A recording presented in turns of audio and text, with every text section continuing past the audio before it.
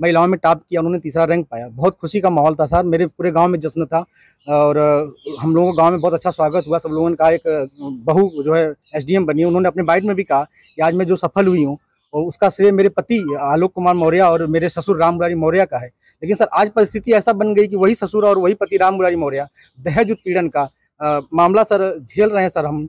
और सर, यहाँ तक कि मेरी पत्नी सर मेरी जान लेना चाहती हैं। मुझे सर फ़ोन करके कही है कि ये जाँच सब रुकवा दो। नहीं तो तुम्हारी जान चली जाएगी, सर। उसके पीछे, सर, उनका भाई सचिन मौर्य मेरे पीछे लगा हुआ, मेरे घर के आगे पीछे रहता है, बंदूक लेके घूम रहा है। और, सर एक मनीष दुबे से कमांडेंट, उन्हीं साथ उनका अवैध संबंध है। मैंने, सर, उनको 22 फरवरी को रंगे हाथ अपने आवास पे पकड़ लिया था।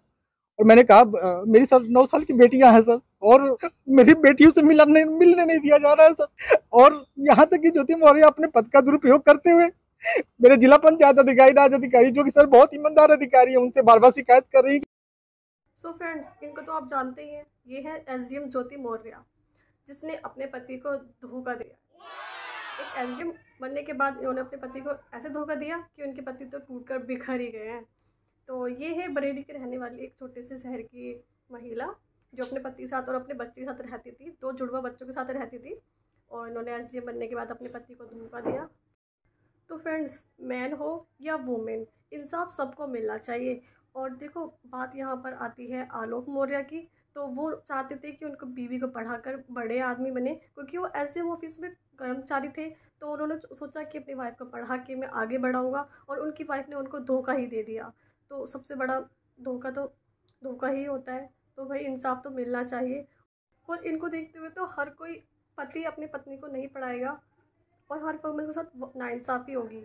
तो इससे अच्छा है कि सरकार को इनको जल्द से जल्द सजा देनी चाहिए और इनको, इनके पद से हटा देना चाहिए, ताकि हर वुमेंस को पढ़ने लिखने का मौका मिले और आगे बढ़े। तो सरकार के साथ भी घाटा हो रहा है तो फिर यही तो होना चाहिए बिल्कुल। और देखो ना भाई, आलक मौर्य की बीवी ने ही नहीं, उनके भाइयों ने भी उनको बहुत परेशान किया। जब उन्होंने अपनी बीवी का फ़ोन हैक किया तो उनके भाइयों ने उनके ऊपर बंदूक लेके तान दी कि अब उनके उनको नहीं छोड़। तो अब खुशी की बात यह है कि यूपी सरकार ने आलोक लोगों को इंसाफ दिया। उनकी बी, उनकी एस डी एम बीवी को उनके एस पद से हटा दिया। तो उनको सस्पेंड कर दिया गया है। तो तो मेरी वीडियो यहीं पे ख़त्म होती है। तो मेरी वीडियो कैसी लगी आपको लाइक करें कमेंट करें और सब्सक्राइब करें।